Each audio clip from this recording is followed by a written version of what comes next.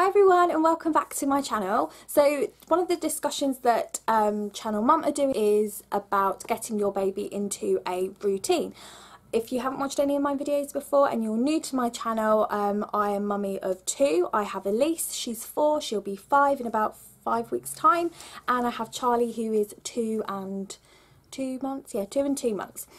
Um, I'm quite big on routine to an extent. I'm not very, very strict with like nap times and things like that. But one thing that I am very strict on is bedtime routine. I personally feel, so it's just my personal opinion, doesn't mean it's right, doesn't mean it's wrong.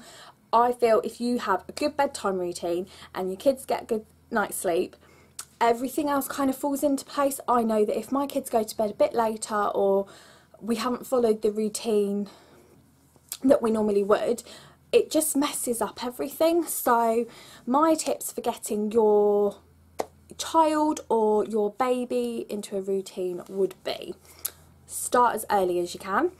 I did the whole bath, bottle, breast, um, bed pretty much from the get-go. Now, when I say start as early as you can, um, you're not going to get a one week old to do this. It's just not going to happen.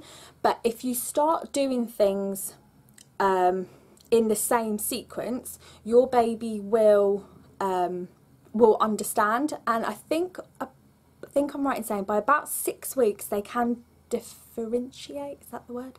Between night and day in terms of bright lights and no lights. So um, I would do uh, day feeds in as noisy a room as you can, keep it nice and bright when you're doing night feeds and the bedtime one, you want to keep really low lighting. I used to just use the night light on my baby listener, so then they would know, oh, okay, that's that's bedtime.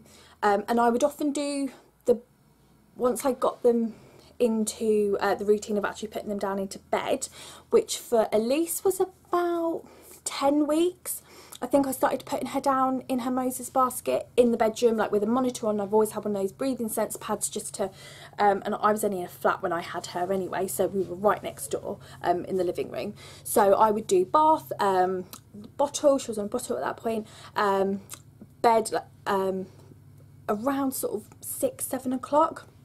And she went down like a dream because I'd done bath, feed, and then I'd put her in a Moses basket either in the living room or then in the bedroom. She kind of learnt that sequence. I mean, timings, I wouldn't focus too much on getting it bang on six o'clock. They've got to be in that bath because you don't know what you're going to be hit with.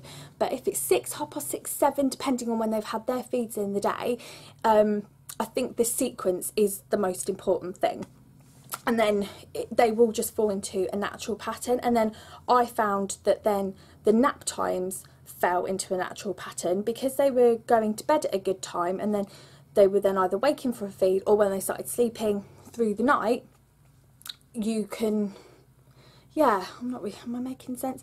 It just kind of then flowed naturally. I have never been one that they need to go down for a nap at nine or they need to go down for a nap at two or whatever. Um, I try to keep roughly the same sort of times but again I sort of followed their lead. So both of mine naturally fell into regular nap time. So Elise used to wake up at 7 6 7 in the morning. She'd go back to sleep about 9 till 11 12ish and then she'd have another one around 1 or 2 um, and then she'd wake up and then the witching hour which I would call it from about 5 till 6 she was oh would just cry because she was just really, really whingy. But then I found if I could get her to about six o'clock, get her in that bath, she was happy with Larry, and then do the bottle, bed, she was good to go for the night. Um, so yeah, that would be my biggest tip. Don't stress too much about getting them into a routine for the first six weeks. And by that I mean focus on timings. Um, I would do concentrate on the sequence of events, if you like, um, and get them to as close as the timing that you would like them to go to bed and what works for you as a family. Um, they even say the first three months, really don't worry about it, but both of mine were ready to go into their beds at, uh, into the bedroom, um, still in our room, by about 10 weeks, 12 weeks. Um, and actually I think Charlie's about 8 weeks. Charlie was 8 weeks and Elise was 10 weeks. um, and that's just what worked for us that's just what worked for me don't focus too much on all these I'm not a big fan of some of these routine bits. For some people, um, just uh, you know, structure to the hour, and um, you know, nap at this time, nap at that time, feed at this time. That works for them. I'm a little bit more laid back. The only thing I would always make sure, no matter what I was doing in the day, is that I will be back for six o'clock bath. That is what I made sure that I was always home for, so that the bedtime routine was always the same.